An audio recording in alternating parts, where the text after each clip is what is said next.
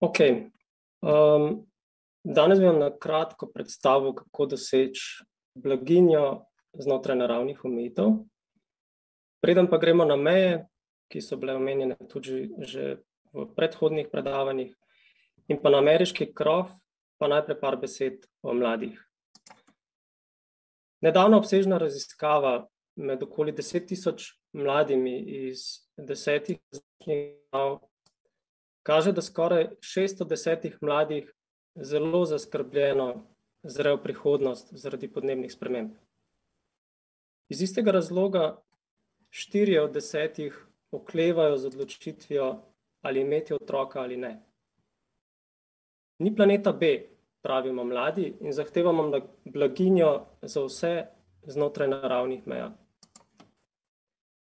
Kaj mislimo s tem znotraj naravnih meja? Posledice človekove dejavnosti ima že dalj časa vpliv tudi na globalni ravni. Spremenili smo že več kot sedemdeset odstotkov kopenskih površin, izsušili okoli petinosemdeset odstotkov mokrišč, skoraj osemdeset odstotkov velikih rek ne teče več prosto od izvira do izliva. Nas moralo to skrbeti?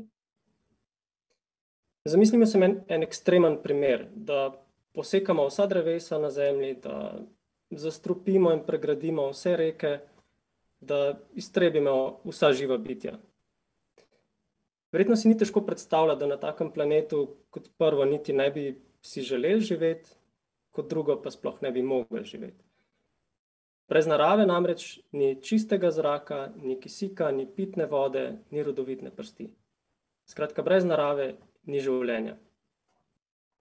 Kje pa je meja, do koder še lahko izkoriščamo naravo. Po oceni znanstvenikov je planetarnih meja devet. To so biofizikalni procesi, ki regulirajo stabilnost in odpornost Zemlje in ki lahko povzročijo velike spremembe na planetarni ravni.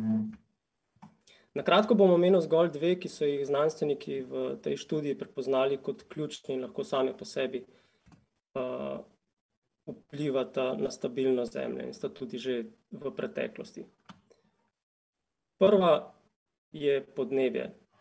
O tem je veliko bilo govora že v uvodnem predavanju, mogoče samo malo z drugačnega zornega kota. Leta tisoč devetsto oseminosemdeset smo v ozračje izpustili tristo petdeset delcev COdva na milijon in prestopili planetarno mejo za podnebje. Trenutna koncentracija COdva znaša okoli štiristo petnajst delcev COdva na milijon in smo globoko v tem rumenem območju negotovosti.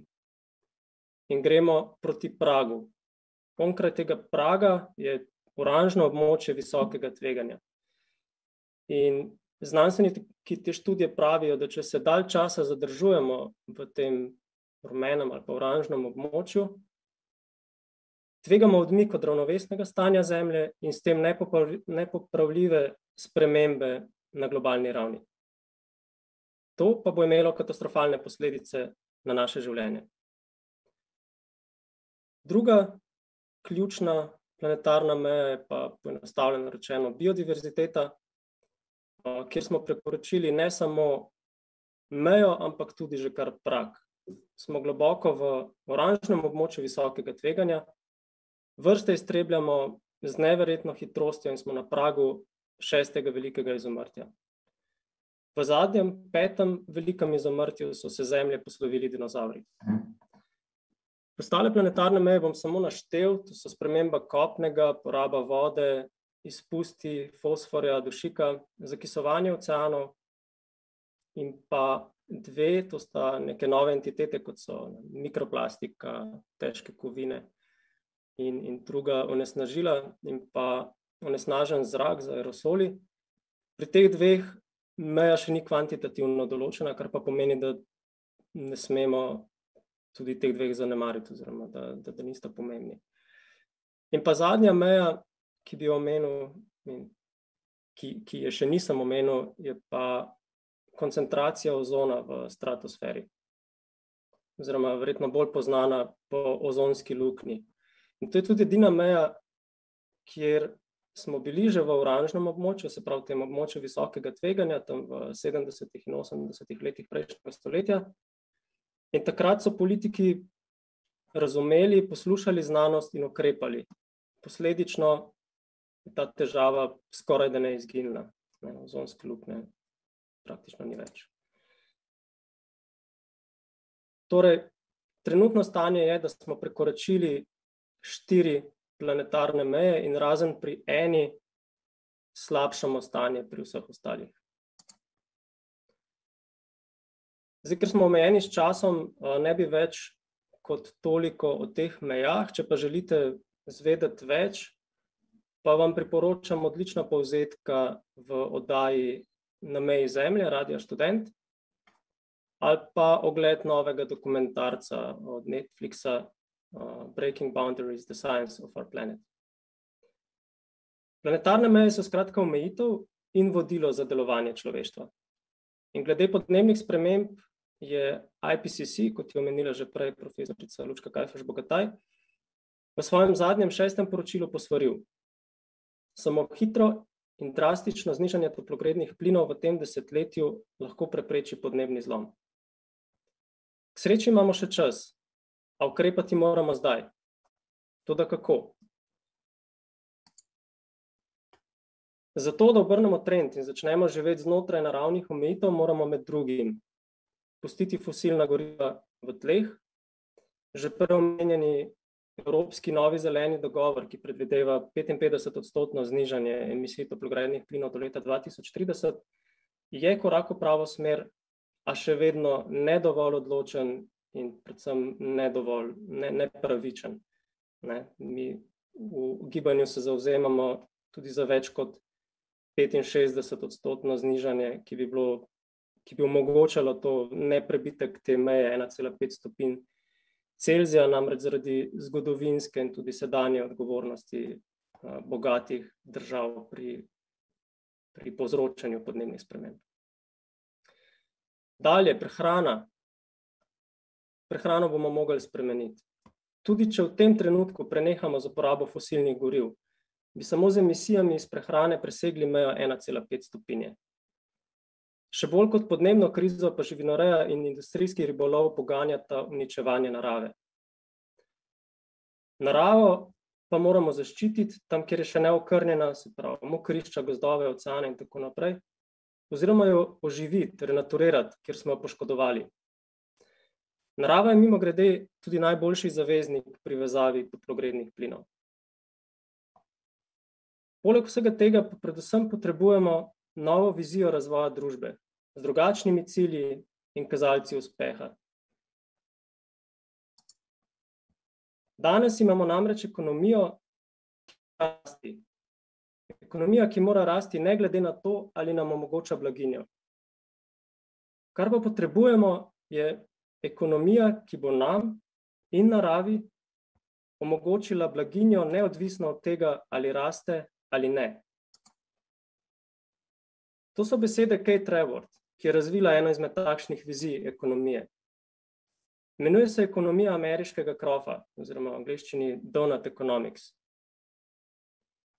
Ta ameriški krov sestavljata notranji socialni temelj in pa zunanji ekološki strop. Ekološki strop zajema prej omenjenih devet planetarnih meja, socialni temelj pa dvanajst dimenzij, to so dostop do vode, do hrane, do zdravstvene oskrbe, do izobrazbe, do do prihodkov in poštenega dela, do miru, pravičnosti, političnega glasu, socialne pravičnosti, enakopravnosti spolov, do dobrih bivalnih pogojev, do vključenosti v družbo, v družbo in dostopa do energije.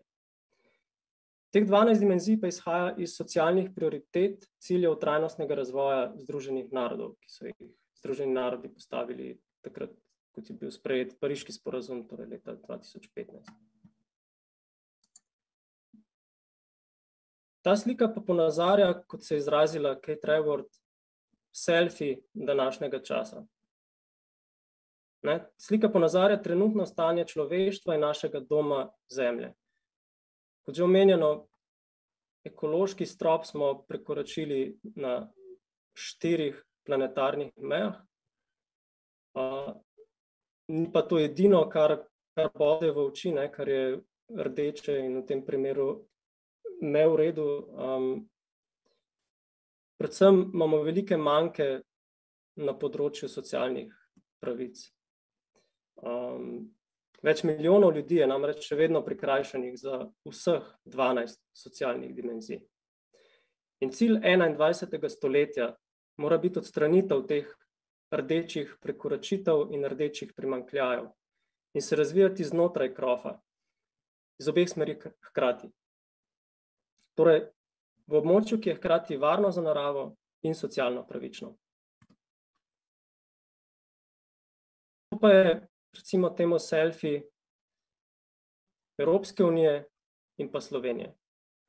Ne, čeprav oboji v večji meri zadoščamo tem socialnim dimenzijam, pa delamo to na velik račun uničevanja narave.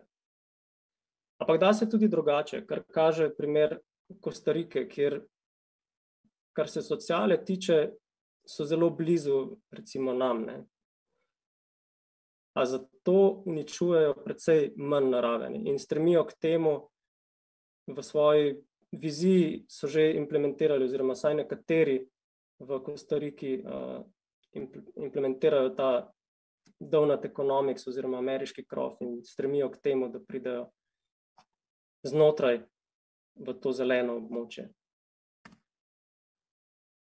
Ekonomija ameriškega krofa je kot kompas, ki lahko pomaga usmerjati razvoj tako držav, kot naprimer Kostarike, podjetij, mest, občin, regij. In od odločevalcev v podjetjih, občinah in državah je v največji meri odvisno, ali bomo še naprej ignorirali znanstvena dognanja in se soočili s posledicami in bojem za preživetje, ali pa bodo uporabili urodja, kot je ekonomija ameriškega krofa, ter vključili javnost in znanost v soodločanje o naši blaginji, ki bo v ravnovesju z naravo. Hvala.